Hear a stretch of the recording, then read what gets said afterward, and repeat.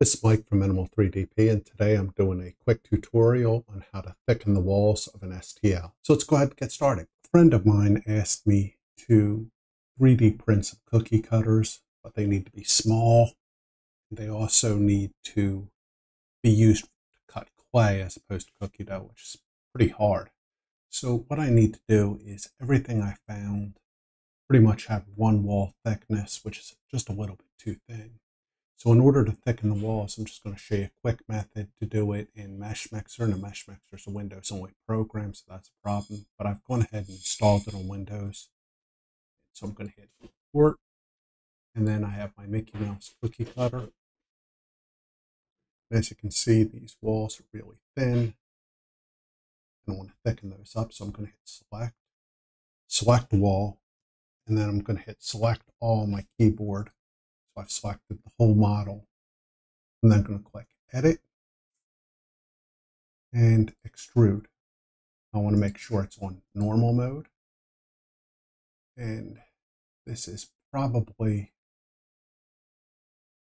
somewhere around 0.5 millimeters is what it was by default.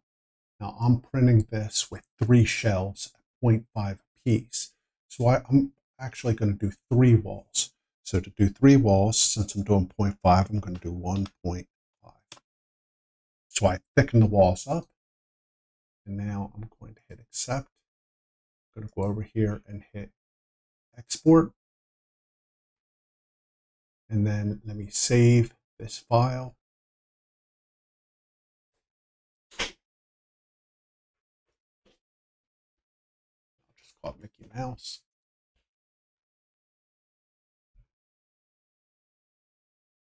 And let me try opening it up in Cura and we'll take a look. I've gone ahead and loaded both models into Cura. This model on the left here is the original with the original thickness. Here's the new model and you can see it is thicker. So that's going to be good. So that's a quick and dirty way on how to thicken the, the walls of a model using Meshmixer. So I hope that helps you. Let me know if you have any questions.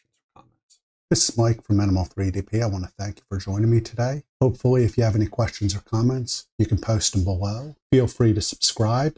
You can also drop me an email at minimal3dp at gmail.com. I look forward to hearing from you. Thanks. Have a good day.